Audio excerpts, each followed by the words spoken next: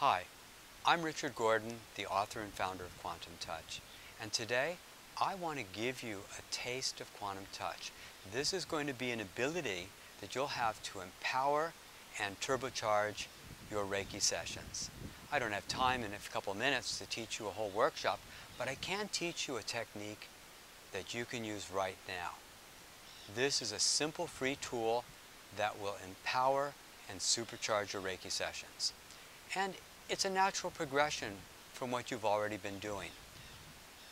Reiki uses the spiritual intelligence of the universe and the life force energy. That's what Rei and Ki mean. The quantum touch essentially does the same thing. We're using the spiritual intelligence and we're using breathing and body awareness exercises to raise the vibration. But I'll get more to that in a moment. We're using resonance and entrainment because when you hold a really high vibration of energy, the other person will come up and match your energy and then the body naturally heals itself. So I'm going to teach you to amplify and turbocharge Reiki with a little bit of a quantum touch experience.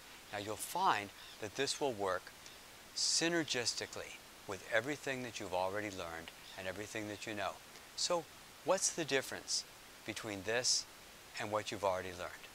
Well, first off, there are no attunements. Not necessary. There are no set hand positions. We'll use the where does it hurt technique. It requires work. Unlike Reiki, you're actually working. You're going to be doing breathing and body awareness exercises throughout the quantum touch. It's an active process. You're not waiting for the energy to turn on, you're just turning it on. And it will also protect you from feeling drained or tired. It's naturally grounding. And you'll be able to do it anywhere.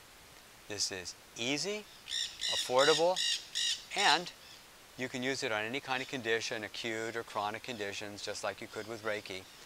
It combines with what you know, the yin of Reiki, of allowing the energy to come through, and the yang of quantum touch. And on the next video, I will teach you a very simple technique that you can use right away to make your Reiki sessions more exciting and even wonderful.